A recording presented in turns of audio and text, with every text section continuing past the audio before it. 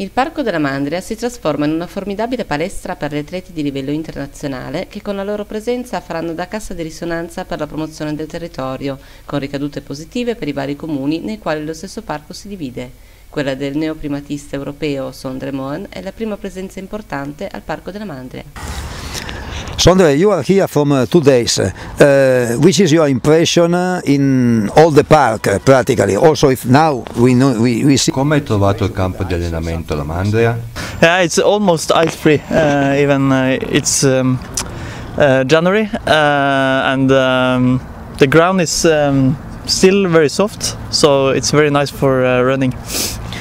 Eh, dice che chiaramente c'è ghiaccio perché siamo in gennaio, però il, la superficie è piuttosto soffice e quindi è ideale per correre. How do you feel here? No, also the accommodation. Come ti trovi qui in Italia? Yeah, the accommodation is very good and um, yeah, uh, you have uh, the airport is not far. You have a super, um, supermarket very close and um, yeah, it's not far from the city center in uh, Torino. Uh, but uh, still the language is a little bit difficult. allora dice che la situazione è molto positiva perché perché c'è, perché c'è in questo momento un grande trattore che passa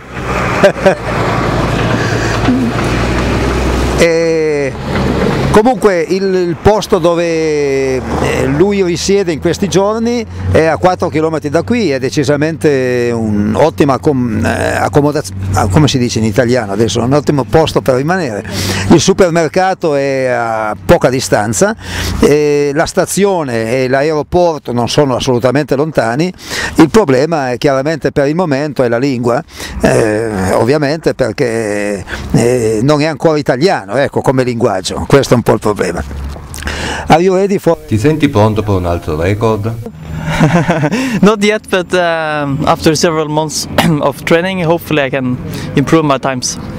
Allora, non ancora in questo momento ovviamente, ma eh, pensa e crede che dopo alcuni mesi di allenamento specifico possa migliorare il proprio limite. Chiaramente stiamo parlando della mezza maratona. Il suo allenatore Renato Canova utilizzerà il parco quale base europea per i campioni mondiali che si troveranno a gareggiare nella stagione agonistica, come illustrato ai nostri microfoni. Eh, il primo obiettivo concreto eh, sarà nei campionati del mondo di mezza maratona che sono a Valencia Valencia in Spagna il 24 di marzo l'obiettivo più che eh, su un piazzamento eh, è, è, piuttosto legato al conseguimento di un tempo diverso e possibilmente di abbattimento del primato europeo che è di Mofarà. 59 minuti e 32 secondi è il primato europeo di Mofarà, 59-48 è il suo record personale già fatto a Valencia, il percorso sarà leggermente diverso, quello del, dei mondiali, gli organizzatori dicono che è anche più veloce, e sicuramente le condizioni ambientali saranno migliori perché a fine marzo a Valencia l'umidità che invece c'era ad ottobre è molto, è molto, ridotta.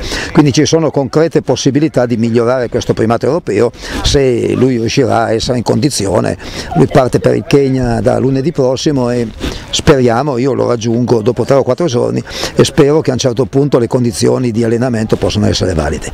Dopo questo avremo un ritorno alla pista dove lui farà un 10.000 metri a Oslo nel corso della Diamond League il 7 di giugno con l'intento di eh, cercare di migliorare il primato nazionale norvegese che è del 1990, sono tutti primati molto datati. E quindi in questo modo diventerebbe praticamente il primo atleta norvegese ad avere il record dai 10.000 alla maratona tutto compreso, no, se poi fosse tutto ok con due di questi che sono anche primati europei.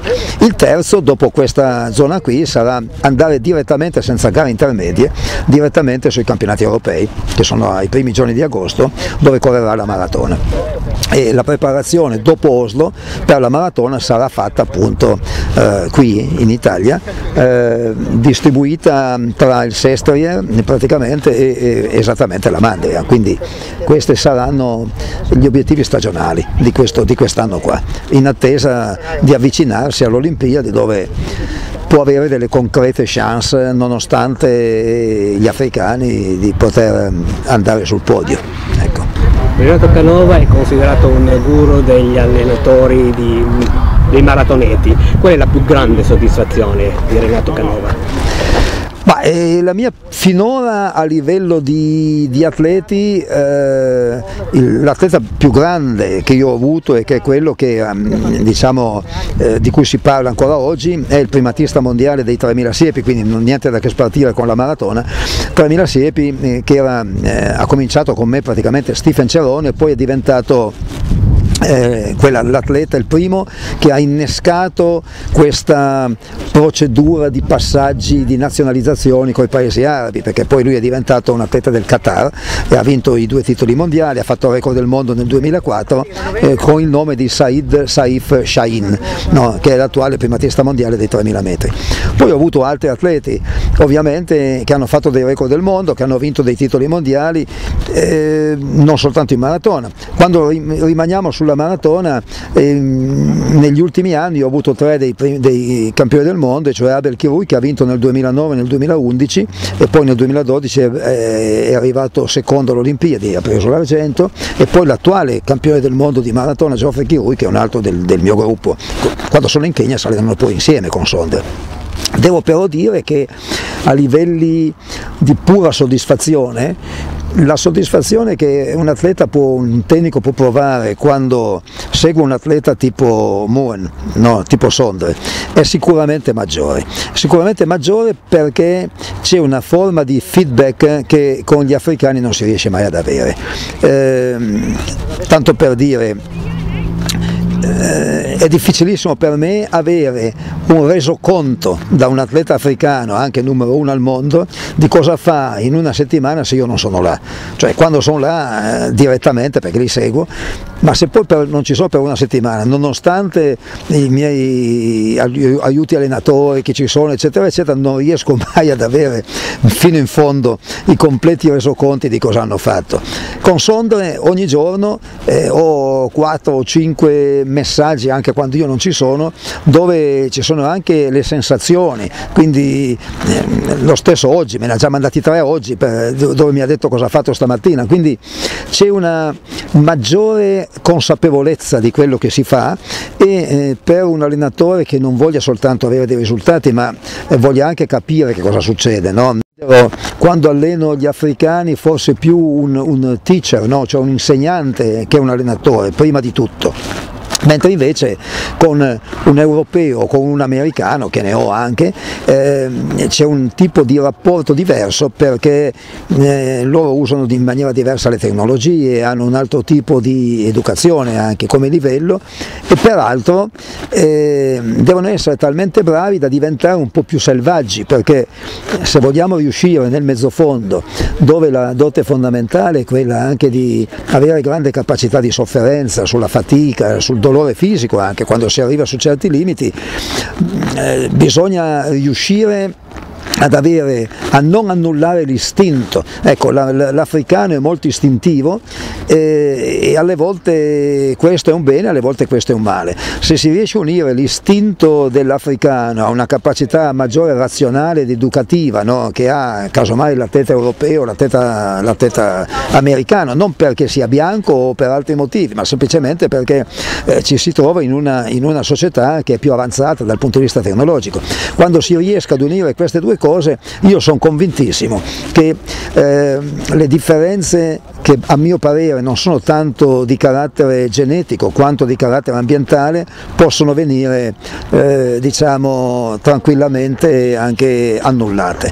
Ecco, noi abbiamo al momento quattro atleti bianchi, a me non piace tanto la distinzione bianco-nero perché per me la distinzione se parliamo di sport è chi è forte e chi è meno forte.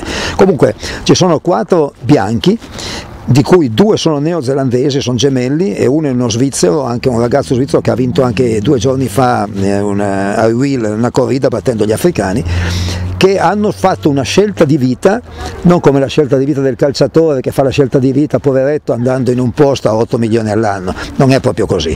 Quindi è una scelta di vita di persone che vanno da una situazione positiva e di tranquillità che possono avere a casa eh, in una condizione sicuramente peggiore ma molto più motivante, cioè loro scelgono di diventare come i keniani perché credono di poter riuscire nell'atletica e i risultati dicono che ci stanno riuscendo. Quindi il problema è non tanto sul talento ma la domanda è quanti sono i talentuosi in Europa, in, in, America, in questi posti che hanno il coraggio di fare una scelta di vita di questo tipo. Questo è il problema vero, cioè eh, è di crederci e di avere per una parte della tua vita, 4-5 anni, questo come obiettivo unico. Sondra è uno che si allena, mangia e recupera e questo alle volte anche da solo, come ha fatto al Sestere per più di 50 giorni, praticamente, e di sicuro non gli pesa quello che non fa, perché è troppo legato a quello che fa.